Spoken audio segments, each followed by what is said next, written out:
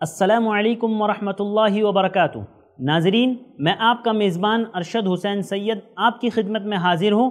آپ کا اپنا پسندیدہ پروگرام پانچ منٹ کا مدرسہ لے کر۔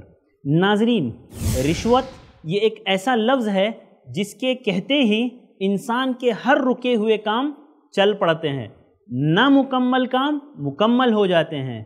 ہر تکلیف اور پریشانی سے نکلنے کا راستہ مل جاتا ہے۔ لیکن کیا اسلام میں رشوت جائز ہے ہاں آج میں آپ کو سب سے پہلے ایک گناہ کے بارے میں بتاؤں گا، جو ہمارے معاشرے میں عام ہے آدمی گاڑی چلا رہا ہے، راستے میں ٹریفک حوالدار نے پکڑ لیا، اس کو رشوت دے دو۔ پاسپورٹ بنانا ہے، رشوت دے دو۔ فلاں کام نکلوانا ہے، رشوت دے دو۔ ہر کام ہم یہ کوشش کرتے ہیں رشوت سے کریں۔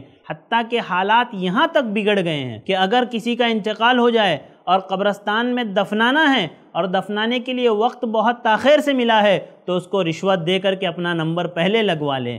کیا حالات ہمارے ہو گئے؟ اللہ کے نبی صلی اللہ علیہ وسلم نے کہا، لعنت اللہ علی الراشی والمرتشی۔ اللہ کی لعنت ہو رشوت لینے والے اور دینے والے پر۔ ناظرین، یہ جو رشوت کا سلسلہ ہمارے یہاں چل پڑا ہے، بالکل ناجائز ہے، حرام ہے۔ یاد رکھیے، ہم دیتے ہیں تبھی سامنے والا لیتا ہے۔ اگر ہم دے ہی نہ، ہم ہر کام صحیح طریقے سے قانون کے مطابق کریں، ہر عمل ہمارا شریعت کے مطابق ہو، تو کسی بھی طرح سے ہمیں رشوت دینے کی ضرورت نہیں پڑے گی۔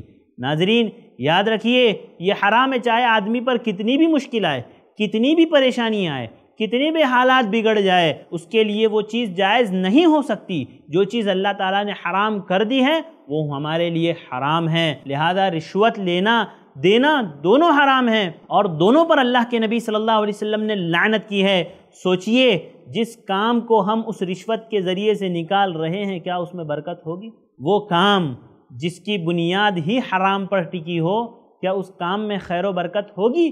ہرگز نہیں ہوگی۔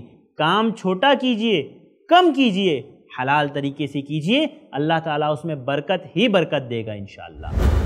ناظرین، آئیے اپنے دوسرے موضوع کی طرف چلتے ہیں۔ ہمارا دوسرا موضوع ہے عمل کی فضیلت۔ عمل کی فضیلت میں ہم بات کریں گے افو درگزر کی کیا فضیلت ہے۔ آج ہمارے یہاں ایسا ہوتا ہے کہ کسی کے جھگڑے ہو جائے تو ہمارے یہاں جھگڑوں میں اس آدمی کو مسلمان سمجھا ہی نہیں جاتا جو گالی نہ دے۔ لوگ کہتے ہیں کہ بھائی وہ کائے کا میاں بھائی جو گالی نہ دے۔ بالکل غلط بات ہے۔ حرام ہے، کوئی مسلمان گالی نہیں دے سکتا، برا بھلا نہیں کہہ سکتا۔ افو درگزر، معافی کرنا، نرمی کرنا، یہ تو ایک مسلمان کی پہچان ہے۔ آپ کو پتہ ہے، اللہ کے نبی صلی اللہ علیہ وسلم نے کہا کہ صدقہ مال میں کمی نہیں کرتا یعنی صدقہ دینے سے مال کم نہیں ہوتا، اس میں بڑھوتری ہوتی ہے۔ اور آپ نے فرمایا کہ معاف کر دینے سے اور نرمی کرنے سے اللہ تعالیٰ بندے کی عزت میں بلندی عطا کرتا ہے۔ اللہ تعالیٰ بندے کو بلند کرتا ہے۔ آپ دیکھیے، کبھی کسی سے جھگڑا ہو، کبھی کسی سے کوئی تکلیف ہو جائے، آپ معاف کر دیجیے۔ آپ درگزر کر دیجیے۔ سامنے والے کی آنکھوں میں اس کے دل میں آپ کے لیے عزت بڑھ جائے گی۔ وہ کہے گا، بڑا اچھا انسان ہے، معاف کر دیا اتنی بڑی غلطی ہونے کے باوجود۔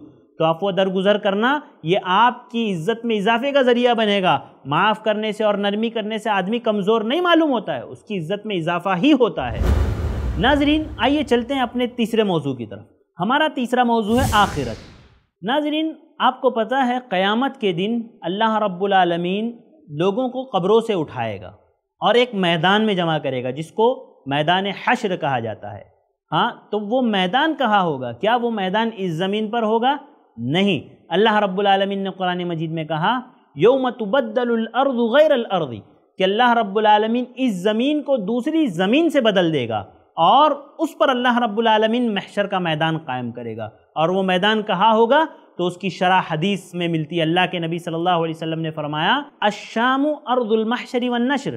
یعنی یہ شام جہاں پر آج ملک شام بسا ہوا ہے نا، اس جگہ پر اللہ کے نبی صلی اللہ علیہ وسلم نے کہا کہ یہ شام کی جگہ یہ جمع ہونے اور پھر منتشر ہونے کی جگہ ہے۔ اور آج کے زمانے میں پتہ ہے اسے کیا کہتے ہیں؟ سیریا۔ یعنی جس زمین پر آج سیریا بسا ہوا ہے، اس زمین پر اللہ رب العالمین میدان محشر قائم کرے گا اور وہاں پر لوگوں کا حساب و کتاب کیا جائے گا۔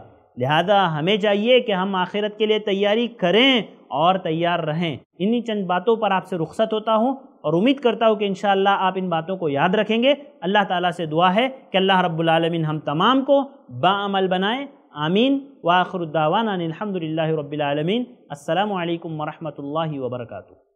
ایسے ہی اور ویڈیوز بنانے میں ہماری مدد کریں۔